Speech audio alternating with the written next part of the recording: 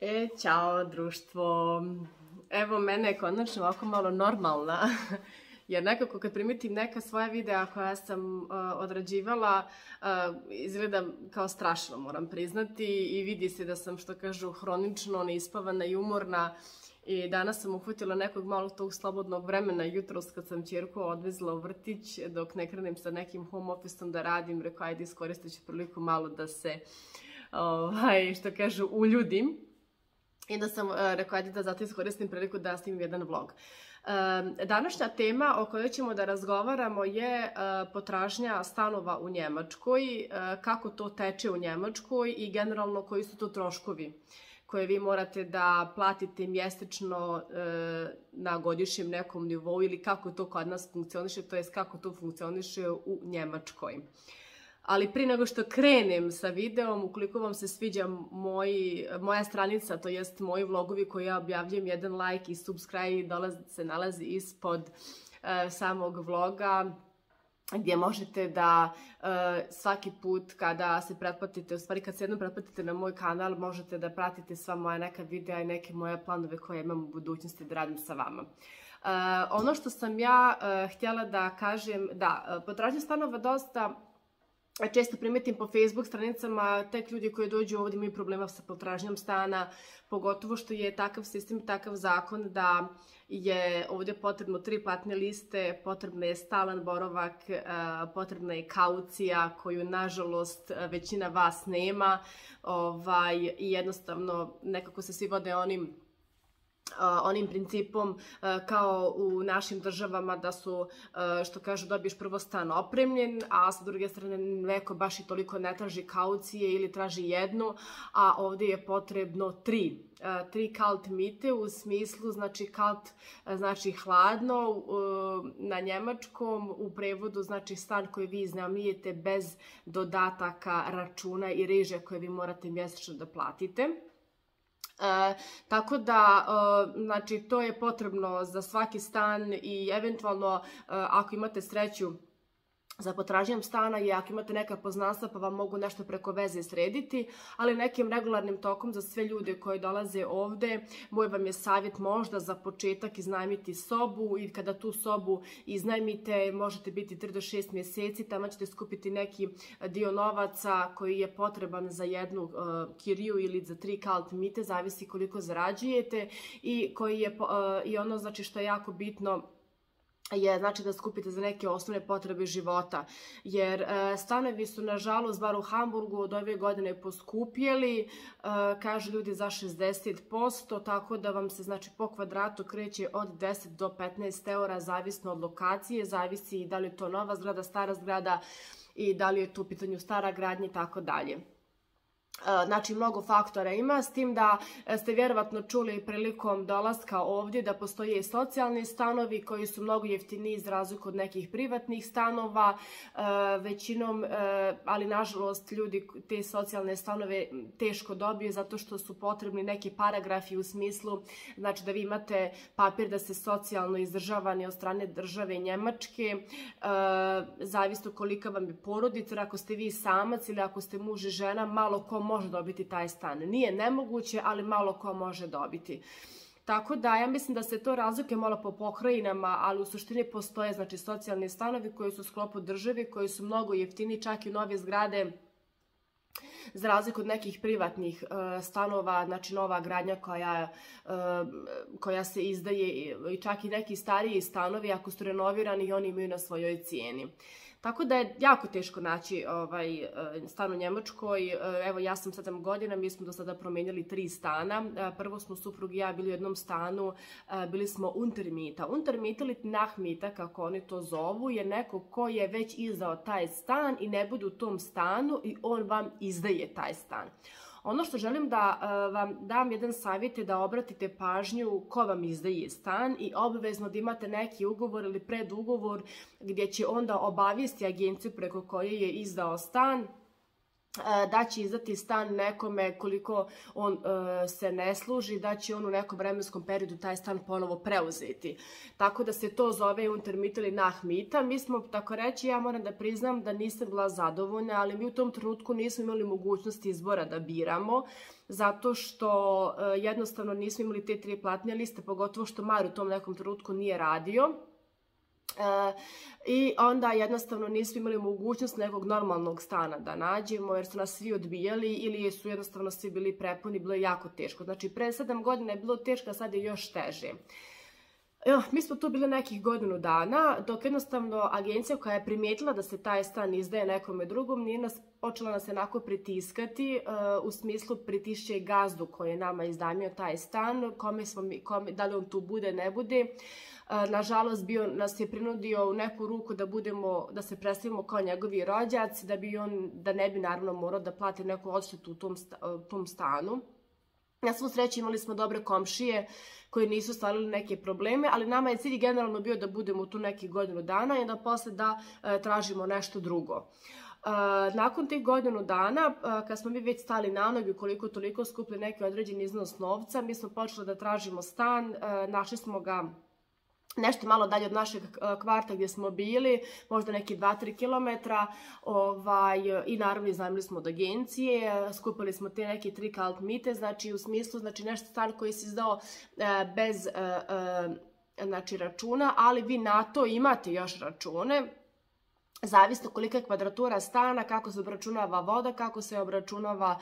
grijanje, kako se obračunava struje i tako dalje i tako dalje. Mi smo u tom stanu bili dok se nije naša čerka rodila. Kad se taša čerka rodila, mi smo morali da tražimo još jedan stan, jer smo shvatili da kroz neki vremenski period ona treba da ima svoju sobu, jer mi smo u tom trenutnom stanu kom smo bili imali smo samo jednu spavaću sobu sa dnevnim boravkom i kuhinjom. U suštini za dvoje ljudi to je sasvim dovoljno, ali kada vi dobijete dijete, već to malo drugačije prelazi ovaj, u neku drugu, neku drugu naviku. Ovaj, ono što želim isto da kažem, mi smo znači nakon toga, ja moram da priznam da smo sigurno godinu i po dana tražili stan, bilo je jako teško, pogotovo kada vi dođete da vidite stan, ima naravno izbora. Mi imamo stabilne poslove, imamo ušteđevinu, tako da mi nismo imali tih nekih finansijskih problema, ali je jako teško naći znači da odgovara vam kvart, da je siguran za dijete, da je sigurna okolina, da su dobri da su dobre komšije, da jednostavno da vam je tu nešto u blizini, pogotovo kad imate dijete koje će danas sutra odrasti i koje će pješačiti neki vremenski period, da li do vrtića, da li do škole, e, ovaj, jednostavno opet gledate e, da je dobra lokacija i da je dobar stan. Mi smo na svu sreću uzeli smo jedan stan u zgradi koja je, tako reći, Erslihige Bojde, znači zgrada koja je praktikovana znači i za ljude koji imaju ordinacije i za stanovanja. Tako da ja sam prezadovoljna, e, pre svega imam mir, stvarno su komšije savršene, ali naravno stan košta. Od ove godine kad smo čuli da, mislim znači naš cilj bio da mi kupimo nešto naše, međutim stravične su cijene i meni je apsolutno bilo davati za nekih 110 ili 120 kvadrata oko 600.000 ili 700.000 evra, gdje te cijene rastu iz dana u dan, jer jednostavno shvatite da cijeli život ćete otplaćivati taj stan ili tu kuću ali opet kažem, nikad se ne zna, ako se desi neka prilika i dođe do neke promjene u nekom vremenskom periodu, naravno da, da ćemo to da uradimo, jer zašto apsolutno davati nekome novce u džep, a vi možete da plaćate svoje. Tako da imate i tu neku varijantu, naravno kogod radi da ima stabilan posao, a da mu se nudi mogućnost kupovine, da kažem, jeftinog, šta znači jeftin stan, nekome je jeftino 100.000, nekome je preskupo 100.000, ali ako vam se desi da pristupačna cena da odgovara vama, moj vam je savjet da uzmete to bez okljevanja, jer nekretnina u Njemačkoj nikad ne može propasti. Ako ništa možete je iznajmiti kad se vratite u svoju državu, znači na vama je da se organizujete. Što se tiče troškova, sigurno znate da u vašim državama funkcioniše tako što vi mjesečno dobijete jedan obračun, na primjer kad je struja u pitanju, e, na osnovu vaše potrošnje i da vi to toliko platite. E, u Njemačkoj to funkcioniše malo drugačije. Postoje agencije koje se bave, prodajom struje, u smislu znači vi se registrujete na uh, web sajt, na primjer mi smo preko Vattenfalla, Vattenfall je poznata njemačka firma koja se bavi proizvodnjom struje i prodajom struje i vi praćate pretplatu. Oni vas pitaju koliki vam je veličina stana, koliko je domaćinstvo, znači nosi broj članova, i na osnovu toga se određuje znači, neka vrsta pretplate koju vi plaćate mjesečno u smislu skidanja, skida vam se sa računa i onda nakon nekih pola godine do godinu dana, zavisi kad je obračun, vrši se obračun u tih nekih par mjeseci koliko ste vi plaćali struju i ukoliko ste plaćali znači previše, vraća vam se novac. Ukoliko ste potrošili malo više struje, dođe vam obračun da vi morate nadoplatiti. Tako da to funkcioniše tako u Njemačkoj kad je u pitanju struja. E, ja sam čula, to je bilo je na radiju skori na vijestima da je sve otišlo za 20% i više, u pitanju su gas i u pitanju su struja. Sad kako će to da nas izađe na nekom obračunu, to ćemo, što kažu, vrijeme će da pokaže svoje. Ali kad je u pitanju, znači, Neben Kostanu u, u prevodu na njemačkom, te neke režije, podrežije koje se e, plaćaju, znači u stanu koji ste vi iznajmili, gdje vam se to skida zajedno sa kirijom, to vam je znači voda i grijanje, i onda, e, znači, to vam firma, e, znači, agencija preko koje ste vi iznajmili, ona vam, znači, skida mjesečno, znači, određen iznos novaca, znači, zajedno sa kirijom, zavisno koliko veličina stana i kako se generalno obračunavao sam stan sa tim nekim računima koje vi morate da platite. Ono što se plaća odvojeno i ono što većina ljudi želi da izbjegne kao što izbjegava i kod nas, to je radio i televizija. Moram da vas razočaram da u kući da nemate radio i televiziju, naprosto ste automatski u sistemu kad se prijavite u opštinu da vi stanujete ovaj, u tom gradu, automatski vam dolazi obračun za plaćanje eh, na tromjesečnom nivou. U našem slučaju je 53 eura Znači, to je nekih 15-16 eura mjesečno i onda kada vi dobijete to morate da platite. Svi oni koji izbjegavaju da plate, moram vam kazati da automatski ulazite u šufu negativnu. A kada se vi odlučite da uh, uzmete neki kredit, da uzmete neku nekretninu, vi se automatski tamo prikazujete da ste negativni u smislu da vi niste redovni platiša. Tako da, kada se to vidi u Njemačkoj, jednostavno teško je dobiti kredit, a li kupiti neku nekretninu. Tako da moram vam je savjet da pazite na to i da jednostavno vodite računa o tome i kažem vam da, nema, i da nemate ništa od toga i da prijavite da nemate ništa od toga, takav je zakon da se to mora plaćati. E, tako da je Njemačka zato i funkcioniše jer ima dobar sistem koji jednostavno funkcioniše e, tako što se sve plaća na vrijeme i sve se mora plaćati na vrijeme. A opet kažem, e, znači opet kažem sve je do vas. Kako ćete vi pristupati u državi, na koji način ćete doći. Doći ćete kao jedno normalno lice koje će plaćati redovno račune i imati neke mogućnosti i mogućnosti napredovanja i boljitka u svom životu. Ili ćete biti oni tipični Balkanci koji će doći e, napraviti neke silne gastronomske račune i vratiti su svoju zemlju, ali vjerujte mi da onda državu, u državu više nećete moći ući, pa čak ja mislim da naplata dolazi i u te države u koje se vratite. Da li je to Srbija, Bosna, Hrvatska, znači nebitno je. Tako da su to neke osnovni e, računi koji se plaćaju. Naravno, internet onoliko kako, e, onog provajdera kojeg vi izaberete sami, brzinu interneta, to plaćate isto mjesečno, e, to vam se isto skida s računa. U suštini, ono što je jako bitno i ono što je jako dobro po meni je to da kad se vi znači, napravite ugovor sa nekom firmom, da li u pitanju struja, da li u pitanju internet ili taj ARD, ovaj, znači struja i e, televizija ili radio, pardon, ovaj, jednostavno vama automatski kada vi upišete svoje podatke skida se sa računa. Tako da vi nemate razmišljena na nekom uh, mjesečnom nivou, ja trebala sam da platim ovo, trebala sam da platim ovo, pa kastim s ovim, pa kastim s onim. Ne. Znači skida vam se mjesečno sa računa, ovaj, tako da apsolutno nemate s tim problema. Što se tiče potražnje stana, moj vam je savjet i kada potražujete stan i kada vam neko nudi da iznajmite stan u smislu da je on već izdao od neke agencije, tražite ugovor jer s tim ugovorom možete da funkcionišete bilo gdje. Jer kada dižete neki kredit, ili kada e, podnosite neki zahtjev za nešto bolje, e, odmah, vam traže ugovor o stanu u kom živite, jer oni svi, žele da vide uvid tog plaćanja stana. I, nažalost, dosta naših ljudi je u, e, ovde u Njemačkoj koji su, tako reći, prevareni u smislu uz, uzeli su stan od nekoga i jednostavno nemaju nikakva prava, znači moraju to da budu na crno. Tako da i to se može regulisati, ali opet kažem, pokušajte na neki smireni, realan, realan način da to napravite, a onda se sve ostalo može. Ono što sam isto htjela da napomenem je da postoji paragraf 5 u Njemačkoj ili Hartz FIA, znači to je socijali, sa tim paragrafom koji vi dobijete znači od socijalne službe ili od službe znači koje izdajete paragrafe možete da podnesete za stan socijalne prirode, znači i ti stanovi su mnogo jeftiniji nego inače ovi stanovi. Tako da bi vam bio savjet, ono što je jedino problem je što je velika lista čekanja, što nažalost prednost imaju porodice sa velikim, sa velikim brojem djece, ovdje su slučaju Turci, moram priznati. Mi smo to pokušali, nismo imali taj paragraf 5, ali smo rekao, hajde, nova je zgrada, rekao možda zbog djeteta nam izađe u susret, ali eto, nažalost nismo, ali opet kažem, snašli smo se, znači nismo imali tog problema, ali smo imali problema sa prenalaskom stana jer nam uvijek nešto nije odgovaralo ili vidiš primetiš vlagu ili je loš kvart ili je loš nečist ulaz i tako da i tako dalje. Tako da ima tih nekih parametara na koje morate da obratite pažnju i ono što vam je jako bitno je znači ugovor koji dobijete od agencije gdje ste stan iznajmili morate dobro da pročitate. Ako niste, znači, da kažem,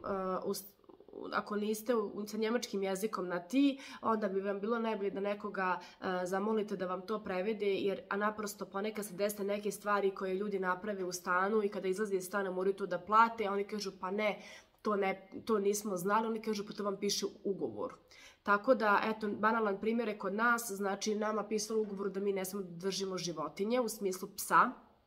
Zašto? Zato što je ispod nas, e,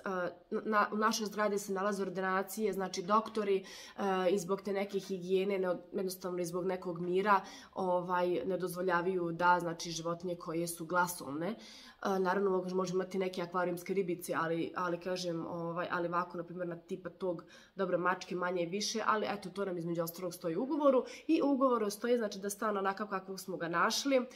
da jednostavno, da tako i vratimo. Uh, ono što isto moram da napomenem, uh,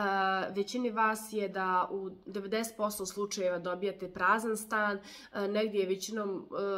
bar po nekim novim zgradama, je tako da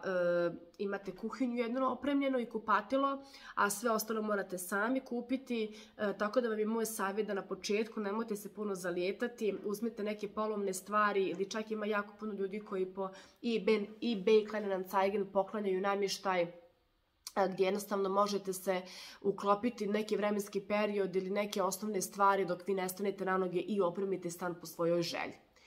To je između ostalog, a baš oni koji žele imate oto.d, to vam je web sajt koji je po meni jedini web sajt gdje možete uzeti namještaj na rate, a da vam ne traže neke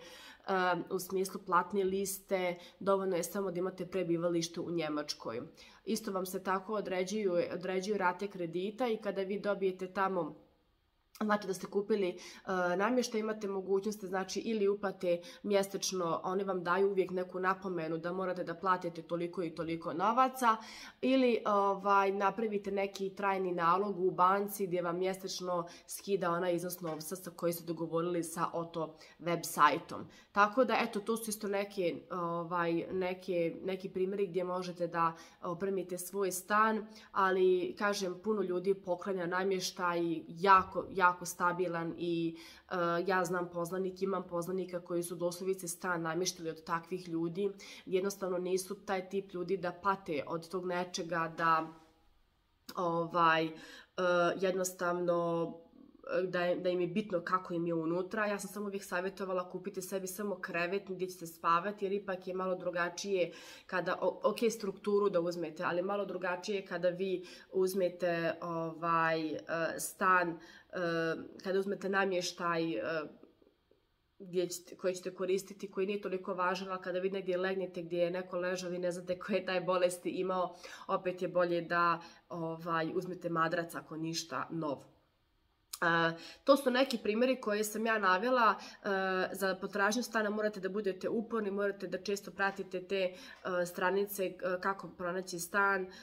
Ima to Immobilian Scout 24, ima Imo Scout, ima Imonet. Jednostavno ukucate Vonung pa napišete, ne znam, kvadraturu stan ili drajcima Vonung ili fijacima Vonung ili cvajcima Vonung, znači to vam je sa brojem soba. Kad vam kažu cvajcima vonun, znači da vam je to kuhinja i dnevni boravak. Nemojte se zalijetati